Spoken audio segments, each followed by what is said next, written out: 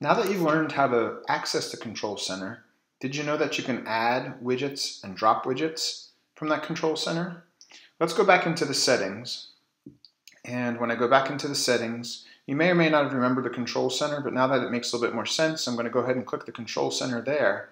And the first thing, first two things it asks you are do you want to access it within apps? So if you have an app opened, such as Safari, you can still, as long as that's toggled on, you can still kind of pull down from that right corner and you can still access it from there. And also showing your home controls as well. So now you saw the different um, controls that I had within my control center. So I had the silent mode, I had the timer, I had the camera, I had the Apple TV, and I have the screen recording. There are other controls down here that you can also access.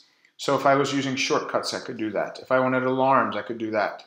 If I wanted to scan a, a QR code, if I wanted to put it in dark mode, guided access. If you had hearing aids and you wanted to add to that, if you use Apple Home, keyboard brightness, low power mode, magnifier, music recognition, if you often use notes, where you have a quick note, if you're recognizing some sounds, a stopwatch, you want to increase the text size or decrease the text size, and voice memos. So the one that I'm going to add is the notes. So all I have to do is go next to the green little plus button there. When I add that, you can see now that my notes are there. And I can change the order of how these are show up as well. So I can kind of drag this up here. And now when I minimize, I can pull down my notes and see now there's a note as well. So I can go ahead and I can click on that and it's going to quickly open up my notes.